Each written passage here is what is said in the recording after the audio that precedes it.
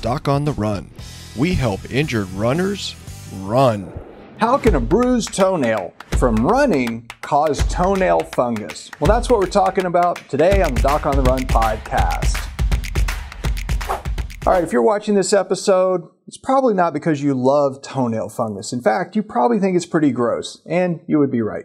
But this is a thing that happens and it is mostly preventable. And there are certain circumstances that can really predispose you to getting the fungus infection in the nail that we call toenail fungus or which doctors call onychomycosis.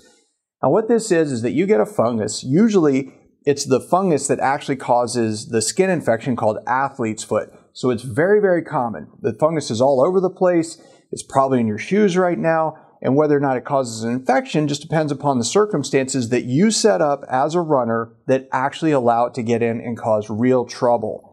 Now, if you look at your fingernails or your toenails, you can see that the toenails that are intact, the fingernails that are intact, the ones that have not been infected, they're clear, and you can basically see some pinkish tissue, which is the nail bed, right through the nail plate. Once it gets infected, then it's a different story. The nail starts to change, it gets thicker, it gets ugly, it starts crackling and crumbling and turns yellow or brown or all kinds of different disgusting colors.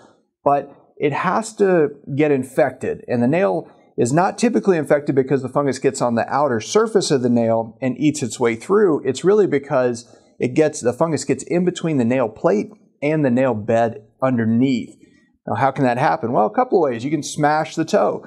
If you smash the toe hard enough that you actually lift the toenail up off of the no- nail bed, well, then the fungus can get in there and start causing the infection. A good example of this is that one of my friends, who uh, is a podiatrist, she called me one day, somewhat in a panic, because her son, his foot was smashed while playing soccer. So it was really smashed, and she was worried about it. And she called me and actually said, Hey, can I borrow your laser uh, because I want to treat my son's toe preemptively to make sure that he doesn't get a nail fungus infection? Now, that is definitely overkill. I do not generally do that, but she was very worried about it, so I let her borrow my laser and do the laser procedure on his toenail to make sure it didn't get infected. Now, when you get a, a bruise under the nail, let's say you go out for a long trail run and you're basically smacking the nail and the toe inside the shoe over and over and over, in a way that actually causes a bruise under the nail, you may not even feel it when it's happening. You might not even discover it until the next day or something. Maybe it feels like a little bit sore that night, but the next day you notice it's kind of black and blue. Well, the question is how does that cause a fungus infection?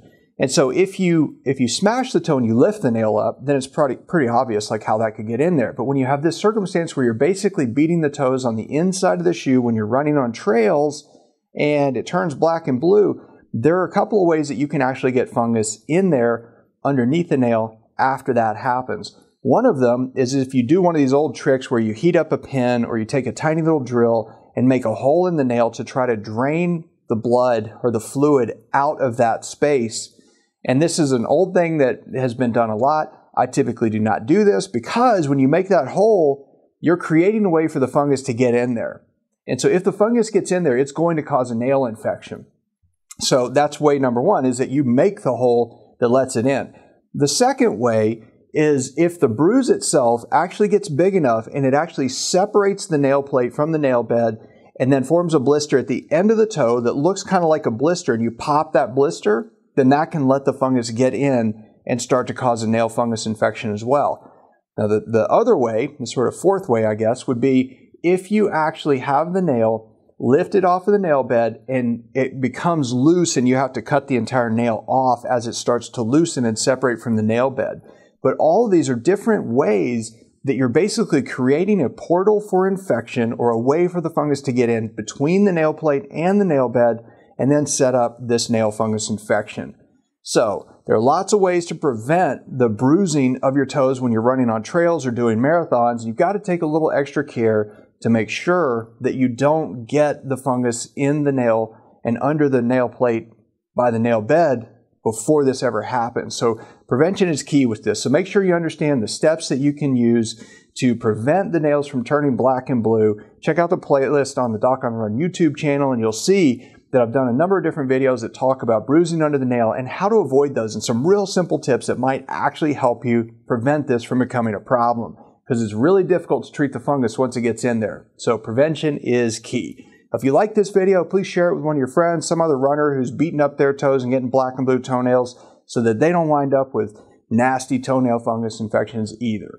Uh, thanks for watching. I'll see you in the next training. Doc on the Run. We help injured runners run.